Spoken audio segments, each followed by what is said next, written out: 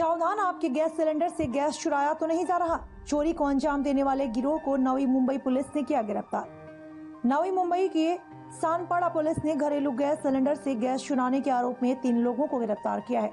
पकड़े गए तीनों आरोपी मनोज सोनाराम बिश्नोई मनोज, हनुमान राम बिश्नोई और स्वरूप बिश्नोई है, जबकि दो फरार आरोपी मांगीलाल बिश्नोई और मनफुल बिश्नोई की तलाश में जुटी है। सभी आरोपी गैस एजेंसी में डिलीवरी बॉय के कार्य पर कार्यरत हैं। आरोपी इस घटना को रात के समय अंजाम देते थे।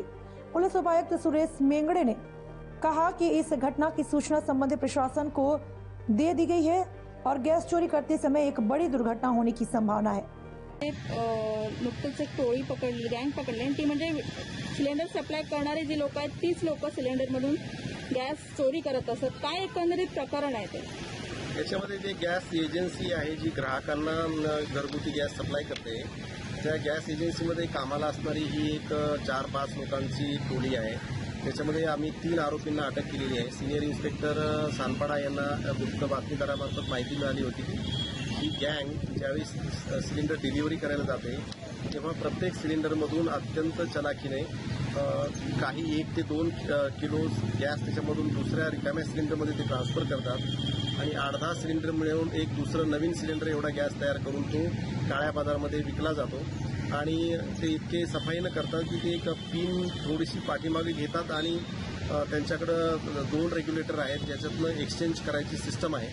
आणि बऱ्याच वेळा हे ग्राहकांना अशा पद्धतीनेही फसवतात की ग्राहकांना घरी गेल्यानंतर ते म्हणतात की आम्ही हे सील काढून तुम्हाला दाखवतो इंटॅक्ट आहे बघायला तुम्हाला बघून घ्या. जेणेकरून ग्राहकाच्या सुद्धा लक्षात येत नाही. वास्तविक पाहता आपण ते सिलेंडर घेताना त्याचं वेट करून घ्यायला पाहिजे. त्यांच्याकडे वेटची युजर्स असतं परंतु ते ग्राहकांना बऱ्याच वेळा तो काटा बंद आहे वगैरे वगैरे अशी अ, भुलावण करत असतात. यामधून अशा प्रकारचं फसवणूक अनेक ठिकाणी होत असण्याची शक्यता नाकारता येत नाही. त्यामुळे ग्राहकांना सतर्क होऊन गॅस सिलेंडर घेताना त्याचं सील इंटॅक्ट आहे की नाही त्याचं वेट बरोबर आहे की नाही याची खात्री केली पाहिजे. जे नियंत्रण करणारा विभाग आहे अन्न व नागरी पुरवठा त्याच्या अधिकाऱ्यांना पण आम्ही याची कल्पना दिलेली आहे. आणि त्यांच्यावर नियंत्रण आणण्यासाठी त्यांच्याकडनं काही उपाययोजना कराव्यात अशा प्रकारची विनंती त्यांना केलेली आहे. मी या ठिकाणी एवढंच म्हणेल की जी एजन्सीज आहेत त्या एजन्सीनं सुद्धा आपल्याकडं जे कामगार कामाला आपण ठेवलेले आहेत त्याबाबतची खबरदारी त्यांनी घ्यायला हवी. सर एजन्सीला माहिती तुम्ही अन्न पुरवठा विभागाला दिलेली आहे. त्या आता व्यापक स्वरूपामध्ये कन्सर्न जे डिपार्टमेंट आहे त्यांचं ते डिपार्टमेंट त्यांच्यावरती कारवाई करेलच. पर्टिक्युलरली या केसमध्ये आम्ही या आरोपींना अटक करून आजच त्यांची पोलीस कस्टडी रिमांड घेतलेली आहे. त्याच्यामधून सानपाडा पोलीस स्टेशनचे पोलीस उपनिरीक्षक ए पी आय राजपूत त्यांचं टीम जे आहे क्राईम पी आय हे बघतायत की याच्यामध्ये यांनी अजून अशा प्रकारे कुठे कुठे प- सिलेंडर डिलिव्हरी करताना किंवा हे सिलेंडर त्यांनी अजून रिकामे सिलेंडर त्यांना सप्लाय करणारे कुणी गँग आहे का?